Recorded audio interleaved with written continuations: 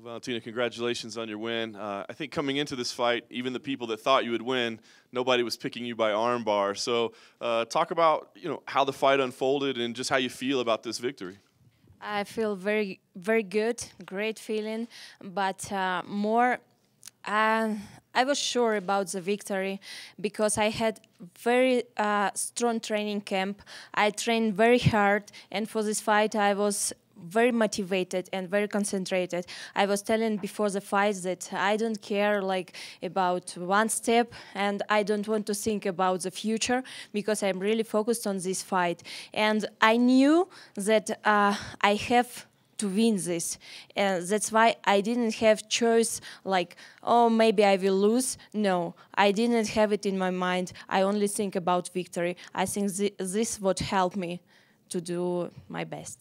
Can you talk about the game plan? Because of course we knew that she was going to clinch you and try to take you down, but you were the one that initiated the takedowns in the opening round, which I think was surprising. Was that something that you were planning on doing, or was it something you just reacted on the fly? Uh, it's like I said before, I'm martial artist. I'm not only striker like people said. I'm complete fighter. I'm MMA fighter. That's why I choose every time tactic depends of my opponent. what tactic will help me? So I just keep going with this tactic. But um, how you can see my record, like uh, MMA record, I have few submissions. So it was not for me like um, to start MMA from zero. No, I was in MMA already many years ago. I fought 2002, 2003, 5, 6.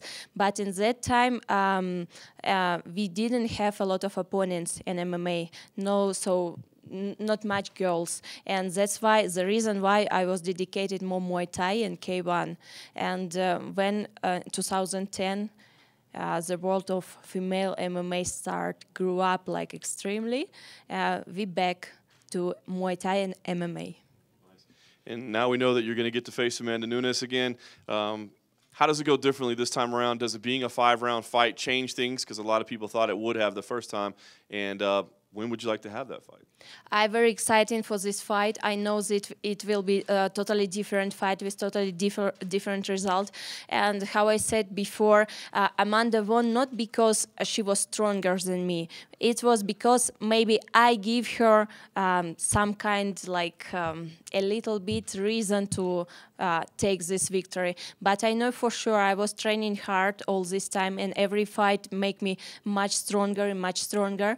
And uh, that's why I know I will do my best uh, to take this belt from her. Anytime, I'm ready right now. what were you more? Um, what are you more proud of? Your performance tonight, or your dance moves after the fight was over?